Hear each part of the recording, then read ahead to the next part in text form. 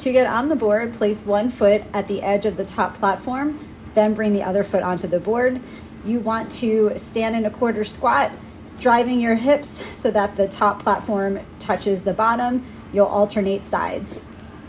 To get off the board, you'll shift all your weight to one side and then step one foot behind you and then the other.